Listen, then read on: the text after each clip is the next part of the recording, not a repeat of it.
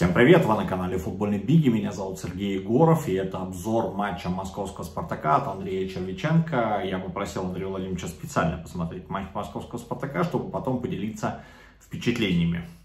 В этот раз, скажем прямо, Андрей Владимирович не был столь красноречив, игра Спартака его в целом устроила, я думаю, что многих из вас, и его в том числе, устроил прежде всего результат. О том, как это было, смотрите интервью. Ну, а я напоминаю о том, что впереди очередной тур российского чемпионата. И напоминаю о том, что у меня у канала появился новый партнер, легальная и надежная компания Bad Boom, которая представляет моим подписчикам специальный бонус за первое пополнение. Переходите по ссылке в скрепленном комментарии по промокоду BIGI, забирайте бонус до 10 тысяч рублей за первое пополнение. Ну а сейчас смотрите интервью Андрея Червиченко. Андрей Владимирович, добрый вечер. Привет. Ну что, наступила оттепель в российском футболе. Две наши команды добились положительного результата, завоеванные очки, и «Спартак», и «Локомотив» очень удачно сыграли. Что, на ваш взгляд, э, ну, давайте про «Спартак» говорить, поскольку во время матча, э, во время матча «Локомотива» были в другом поединке, давайте о «Спартаке» говорить, ваше общее Но я, я в телефон поглядывал туда тоже. Ну, может я, быть, знаешь, давайте тогда в обеих командах.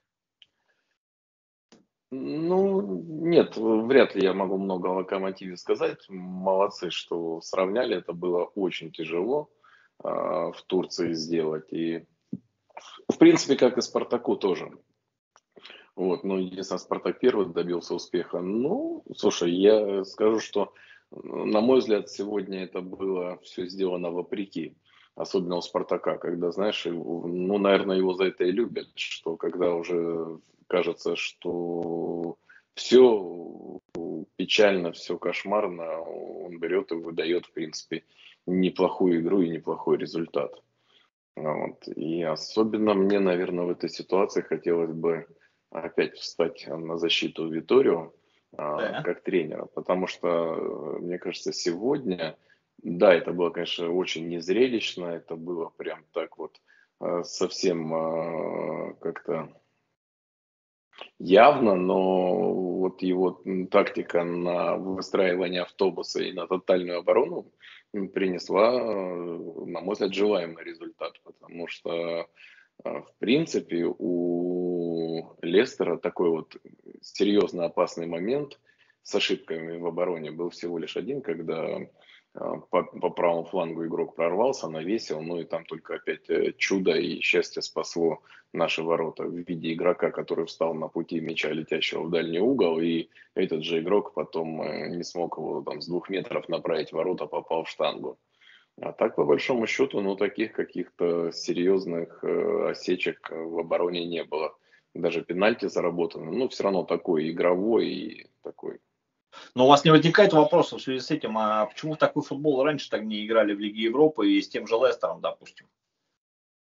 Слушай, ну я тебе скажу, что в такой футбол играть Спартаку, ну, наверное, можно только вот в нынешней ситуации, э, когда уже просто никого не интересует ни качество игры, ни, э, ну, ни, как тебе сказать, ни креативность, не красивый футбол, всех интересует уже хоть какой-то результат. И сегодня он и был хоть какой-то, потому что, ну, сказать, что Спартак переигрывал, мне кажется, совсем а, просто, ну, знаешь, приблизиться к, сектанству, потому что, ну, по большому счету, Спартак на ту половину поля, а, ну, так вот э, пошел в атаку, не просто перекинул мяч, а именно пошел акцентированно в атаку, наверное, раз пять. Одна из них завершилась блестящим голом Мойзеса. А так э, стояли на своей половине поля и отбивались. Ну, в принципе, повторюсь, хорошо отбивались.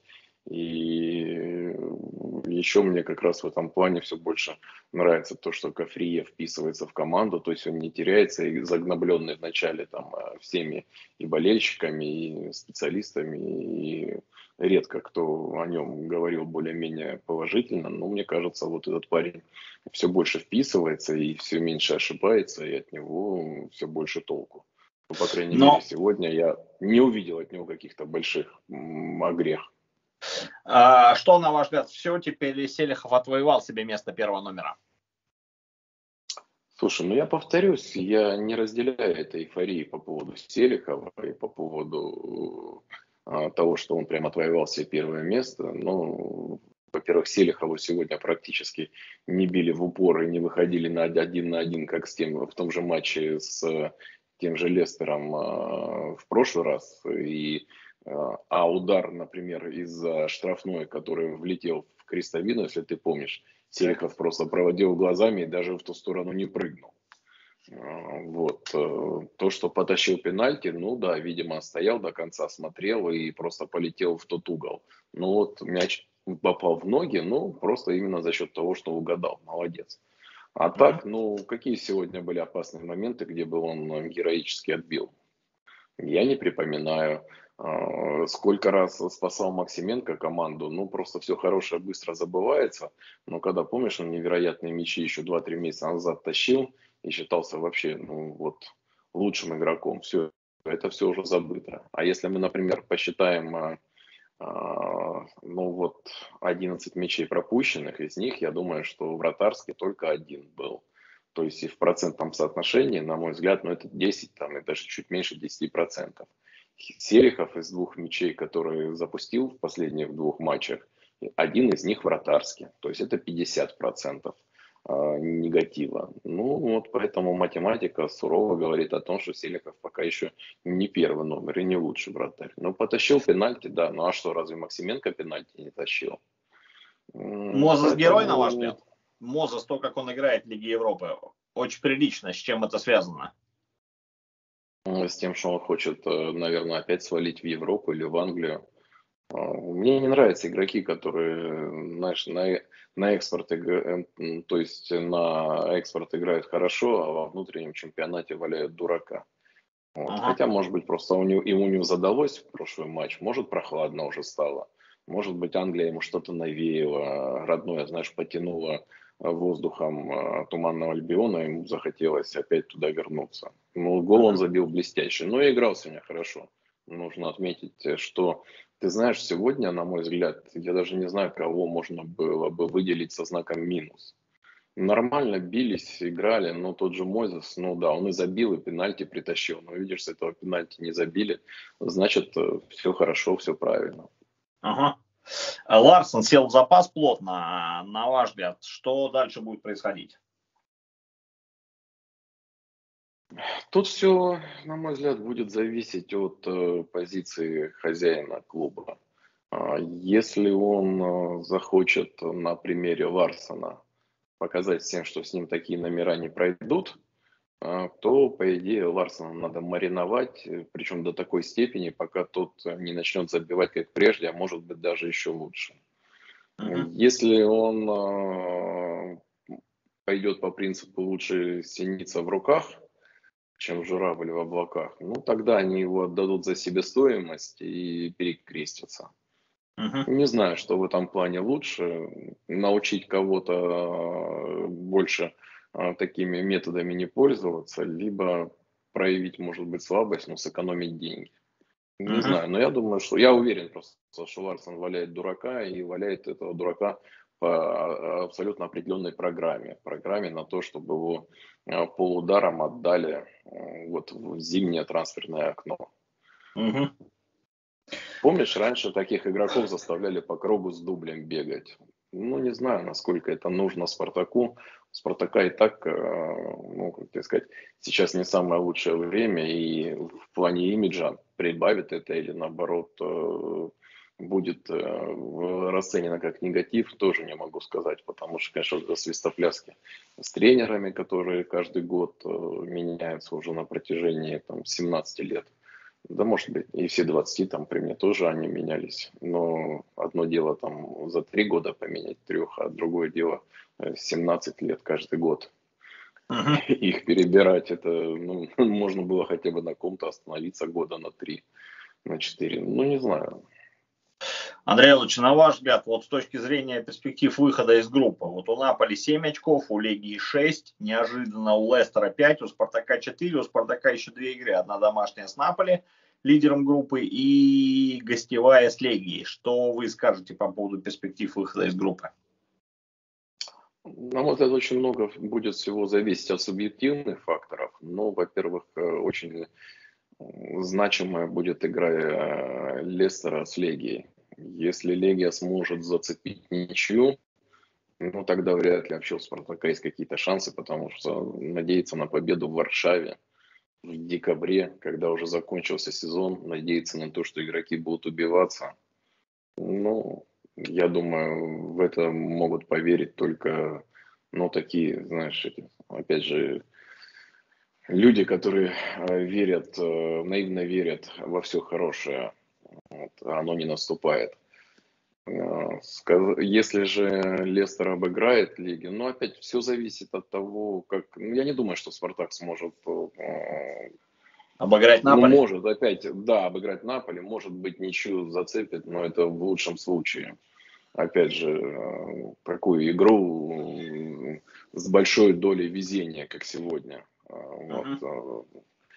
И, конечно же, погодные условия. То есть, если э, погода будет э, благоволить, ну, может быть, там игроки Наполи не очень захотят там, в стужу бегать, э, глотать холодный воздух. Ну, объективно, Наполи обыграть у Спартака не получится. И, в принципе, и, в принципе, помимо этого, тут поляков обыгрывать э, а, в декабре, ну, тоже такой, знаешь, из разряда фантастики. Угу. Ну, то есть вы считаете, что шансов на выход из группы э, практически нет? Ну, я думаю, нет, если uh-huh. мы говорим объективно. Ну, слушай, все может быть. Сегодня тоже я, как и многие, вот кто высказывались, и сегодня не видели шансов даже на это одно очко. Но, видишь, получили его. Ну, Спартак, он же вот тем удивителен, что когда от него уже все, никто ничего не ждет, он берет и выигрывает, как-то побеждает и вообще э, срывается и, начинает, и выглядит каким-то неудержимым. Поэтому, ну, сложно тут угадать. Ну... ну, то есть вы не видите э, каких-то особых шансов у Спартака на выход из группы, учитывая вот эти декабрьские туры?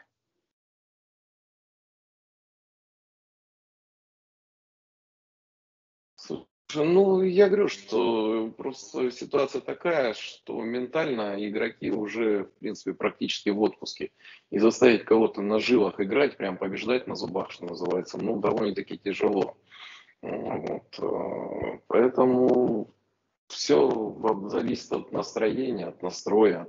Может быть, наоборот, как-то вот... Э, ты понимаешь, я все жду какого-то момента, когда вот э, наступит какой-то небольшой перелом, и Спартак начнет, э, ну вот как-то, знаешь, это самое, набирать, набирать и играть. Хотя, опять же, когда начинаешь думать, за счет чего, ну не понимаешь, потому что те игроки, которые сейчас есть, ну, ты видишь, это все-таки совершенно недостаточно не то, что для европейских турниров, это совершенно недостаточно для российского чемпионата.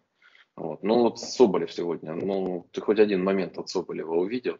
Нет, не увидел. Вот, э, Бакаев, ну да, там что-то куда-то два раза пролез, потом упал, и в нашем, думая, что все-таки он в нашем чемпионате начал что-то выпрашивать, как обычно от европейского судьи, ничего не выпросил. Вот, то есть впереди все, ты понимаешь, забивает э, крайний полузащитник у нас.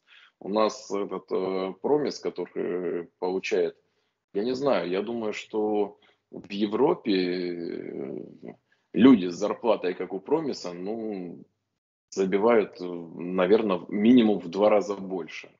Uh-huh. Вот, а сегодня что-то хоть акцентированное, острое у, около ворот соперника разве Промис создал? Нет. На мой взгляд, абсолютно ничего. Поэтому я говорю, что вот этот набор игроков, на мой взгляд, он выхолощенный и он абсолютно непродуктивный. От него что чего-то ждать, ну, знаешь, можно в какой-то, знаешь, как взрыв в каком-то небольшом периоде, в каком-то вот, на, на каком-то небольшом отрезке, да, они как-то могут встрепенуться, что-то показать, но в долгую это все уже отработанный состав. Поэтому, на мой взгляд, зимой, конечно, Спартаку надо, опять же, если позволяет фэрплей, э, вот, а судя по таким покупкам, может, он и не позволяет. Надо как-то усиливаться и очень сильно, причем такими прямо вот именитыми игроками, а не э, надеждами а-ля Хлусевич.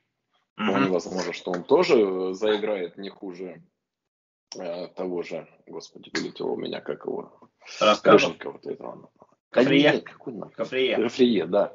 Не хуже Кафрие впишется в команду, но Спартак полностью потерял атакующую мощь. То, чем, в принципе, он отличался последние пять лет. Были хорошие нападающие, было интересно впереди. Сейчас впереди настолько тускло и пресно, что именно вот, э, наверное, то, что Спартак перестает напрягать э, своих соперников э, у их ворот, и приводит к тому, что соперник э, начинает атаковать, забивать и побеждать Спартак, потому что ищет счастье у спартаковских ворот, а, а вратарь ну, не способен все тащить, потому что ну, такие большие ворота. Андрей Ильич, ну по поводу итогов выступления а, в Лиге, в Лиге Европы и Лиге Чемпионов на этой неделе, что скажете? Поражение и две ничьих.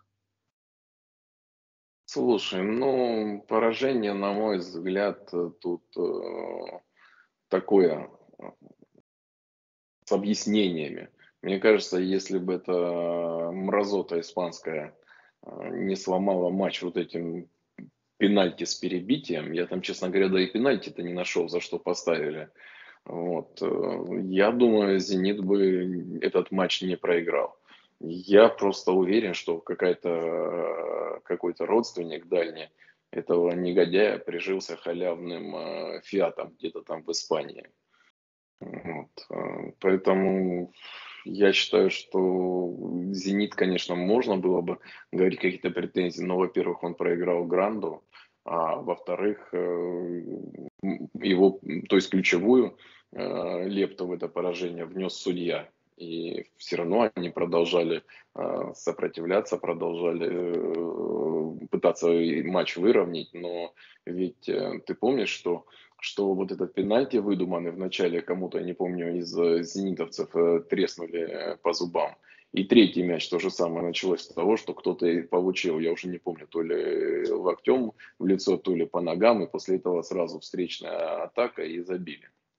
Вот. Так. А, а эти наши э, два клуба Локомотив и Спартак, ну, молодцы. Где-то, конечно, повезло, но молодцы, потому что везет только тем, кто хочет. Вот. Ну и опять же, это такая, ну, конечно, не сильная плеуха, но такая небольшая затрещина тем, кто кричит, что у нас все плохо и у нас все пропало. Просто даже в этой ситуации, где команды находятся не в лучшем а, состоянии, все равно видишь, на выезде берем и там очко, и там очко. Угу. Мне кажется, все не так плохо. Ну и хорошо. Спасибо большое. Счастливо. Увидимся в Москве. Счастливо.